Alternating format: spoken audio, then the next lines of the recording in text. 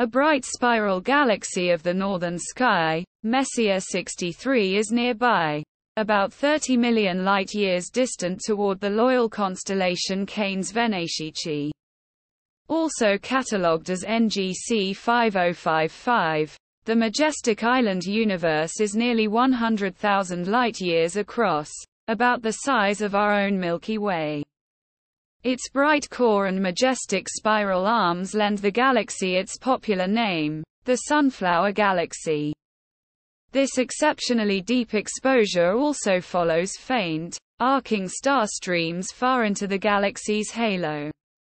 Extending nearly 180,000 light-years from the galactic center, the star streams are likely remnants of tidally disrupted satellites of M63. Other satellite galaxies of M63 can be spotted in the remarkable wide field image, including faint dwarf galaxies, which could contribute to M63's star streams in the next few billion years.